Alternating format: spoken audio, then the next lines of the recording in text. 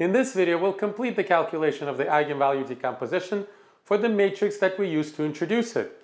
Because we really shouldn't talk about a decomposition without ever calculating one.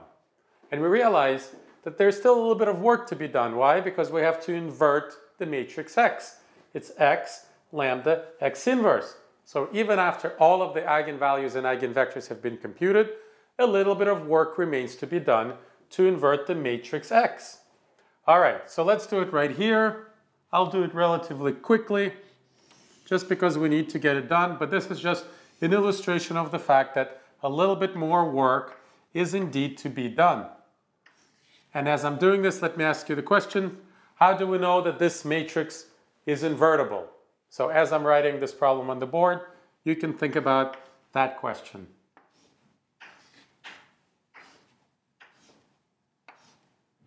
All right, so let me answer that question first. We know that this matrix is invertible because we assumed that the original matrix has a full set of eigenvalues and eigenvectors. In other words, it has three linearly independent eigenvectors. So the eigenvectors are linearly independent. That means the columns of this matrix X are linearly independent.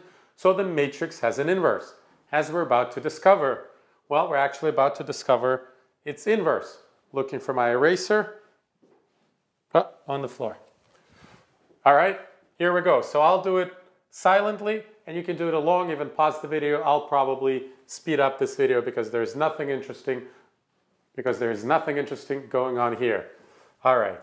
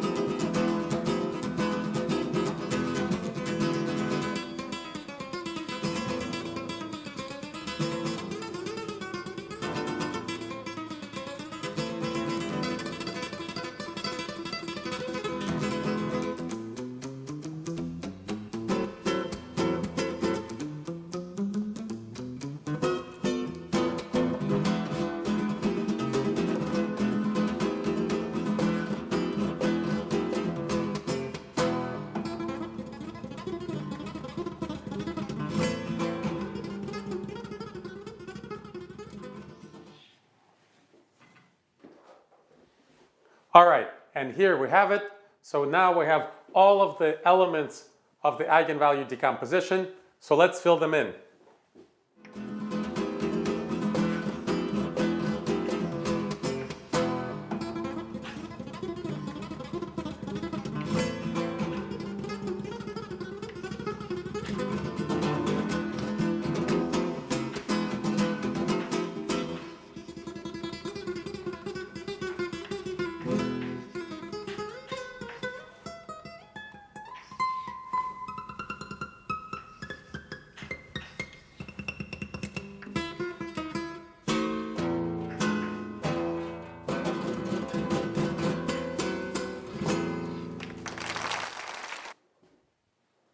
And there you go.